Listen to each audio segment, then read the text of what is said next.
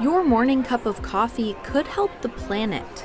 That's the promise of one Australian university that's transforming used coffee grounds into more sustainable concrete.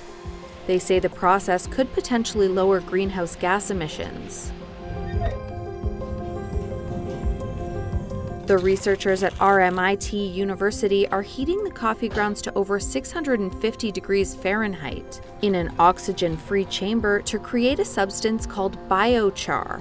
They claim biochar can replace up to 15% of the sand used in concrete and make it 30% stronger.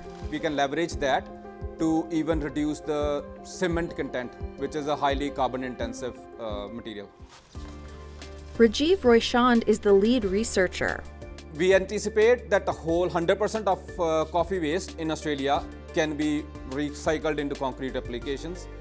Concrete production is responsible for around 7% of the world's CO2 emissions, according to the United Nations. Over 55 billion tons of sand and gravel are dug up each year, mostly for use in concrete.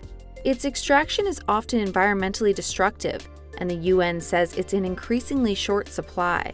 This footpath was successfully made with coffee concrete. The researchers here are working with several construction and concrete companies and forming their own biochar company. They're also in talks with Starbucks to take its coffee grounds. Local coffee shop owner Tony Roussos says he would get in on the action too.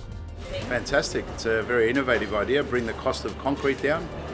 Uh, and the materials, obviously, there's, uh, there's a benefit uh, to the uh, environment for not using harsh chemicals and replacing it with you know coffee grounds as a natural product uh, easy to access a lot of cafes could sell their coffee grounds so end to end it's a great solution Roychand says that eventually the technology could be used for more than just coffee. In terms of uh, real world, our focus is that we try to transform the, all of the organic waste that is ending up in landfills for this positive application in con concrete. So we anticipate that about 60 to 70% we can divert from landfills into concrete applications.